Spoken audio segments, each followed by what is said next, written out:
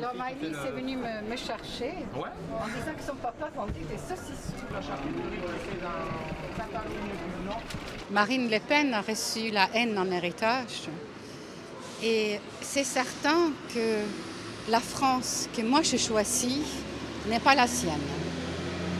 La France que moi j'aime, c'est une France ouverte, on n'expulse pas Made in France. Nous, nous avons un programme de 65 pages élaboré par les coopérateurs et les militants. C'est un programme très sérieux.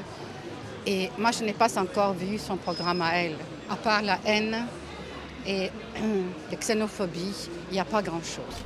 Ici, on a que des, on a que des choses faites à la main. Ah oui. Voilà.